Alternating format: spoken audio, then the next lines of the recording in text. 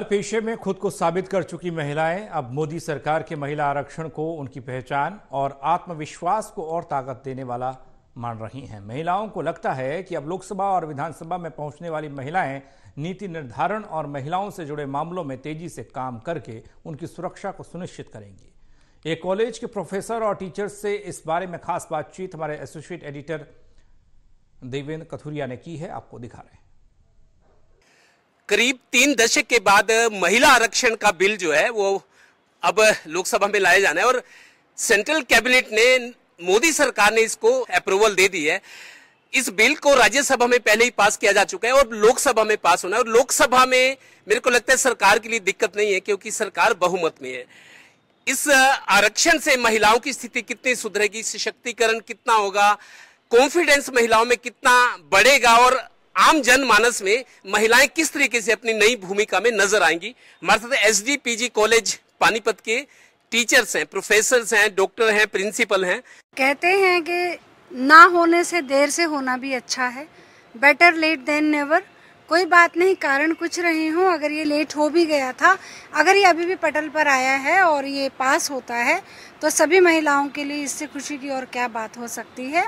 और दूसरा वर्जन वो भी है, समाज में अगर महिलाएँ आगे आएँगी, बड़े पदों पर आएँगी एमएलए एमपीज बनेंगी तो वो महिला सुरक्षा के लिए या मैं कहती हूँ कि इसमें पुरुषों के लिए भी कुछ बुरा नहीं है उन्हीं के घर से। उनकी माँ बहन पत्नी बेटी कोई ना कोई वो भी इस पद पर आएँगी। महिलाओं के बारे में माना जाता है अपने काम में ईमानदार होती है महिलाएँ। निष्ठा भी होती है जैसे परिवार चलाते हैं तो समाज में भी अगर सामाजिक भूमिका में तो महिलाओं से अपेक्षा ज़्यादा होती है कि अच्छा काम करेंगे बेहतर रिज़ल्ट देंगे। आपको लगता है महिला आरक्षण का बिल पास होने से महिलाओं की स्थिति सुधरेगी उनका कॉन्फिडेंस बढ़ेगा सशक्तिकरण नज़र आएगा? बिल्कुल हंड्रेड परसेंट आप ये देखिए, जब 2010 में पहली बारी बिल की बात आई थी, राज्यसभा से वो लोकसभा तक पहुँच नहीं पाया था। ठीक है? आज भी सिर्फ़ अठहत्तर विमेन है। तब मेल्स उठकर वॉकआउट करके चले गए थे। मानसिकता देखिए ना, जब हमें वो तब वॉकआउट करके चले गए और मौका ही नहीं दिया तो हम तो रह गए पीछे। बट अब जब ये आ जाएगा बिल्कुल तो समाज में हम जितनी निष्ठा से अपने इस घर को और अपनी संस्थाओं को चलाते हैं हम समाज की भलाई के लिए निश्चित रूप से आगे आएँगे ही आएँगे। निश्चित रूप से। आप प्रेस्टिजियस कॉलेज के प्रिंसिपल हैं आपसे उम्मीद है स्पेशल कमेंट्स देंगे।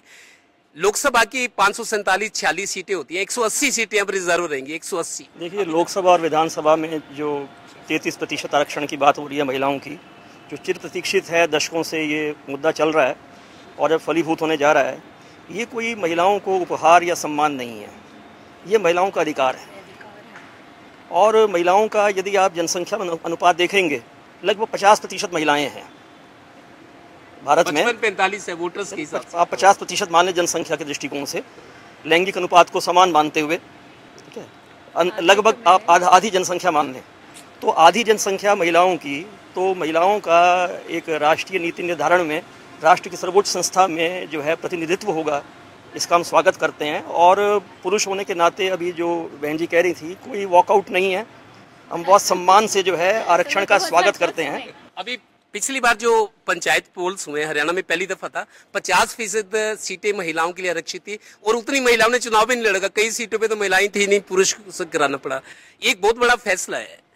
कैसे देखते हैं महिलाओं का सशक्तिकरण में कॉन्फिडेंस बढ़ेगा? उनकी समाज में इज़्ज़त भी बढ़ेगी और ताकत भी बढ़ेगी। हाँ बिल्कुल। आप पंचायतों का कह रहे हैं, देखो, गाँव में ज़्यादातर जो है रिजर्वेशन है कि यहीं इस वाले एरिया से लेडी को ही खड़ा होना है। लेकिन उसके पीछे कौन है? आ जाके मेल है।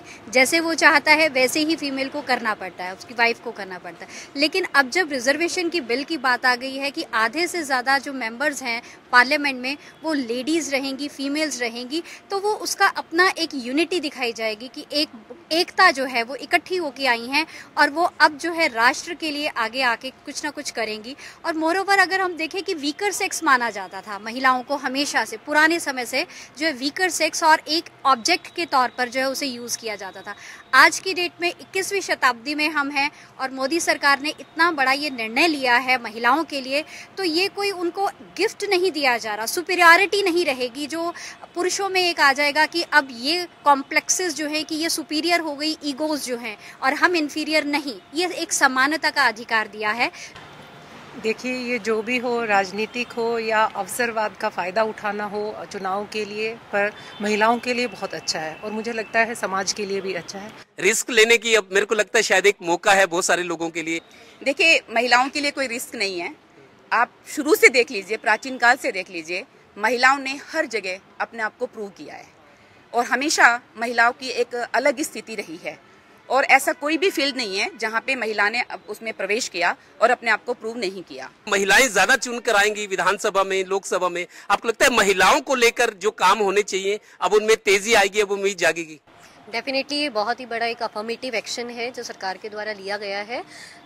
इससे डेफिनेटली विमेन की जो सिचुएशन है वो बहुत ही एक प्रोग्रेसिवली एक विमेन लेड डेवलपमेंट होने वाली है, क्योंकि हमेशा से ही पॉलिटिकल पार्टीज़ जो रही है इनहेरेंटली पेट्रीआर्कल ही रही हैं। और दूसरा हम कह सकते हैं, बहुत सारे इश्यूज़ अभी तक ऐसे थे जो कि इस प्लेटफॉर्म पर नहीं उठाए गए हैं। महिलाओं में जैसे आप लोग पढ़े लिखे हो यूनिवर्सिटीज पीएचडी प्रोफेसर हैं डॉक्टर्स हैं, वकील भी अच्छी महिलाएँ हैं सीए में भी अब बहुत आ गई अब उनके लिए एक और फ़ील्ड खुलने जा रहा है।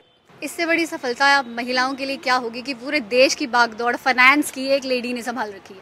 निर्मला सीतारमन हमारे सामने एक एग्ज़ाम्पल है, वो पूरे देश की बागडोर संभाल रही हैं। वो एक बिग एग्ज़ाम्पल है कि विमेन लीडरशिप जो है, वो अपने आप में एक स्ट्रॉन्ग लीडरशिप है और they can do wonders miracles कर सकती हैं, बस मौके की तलाश है।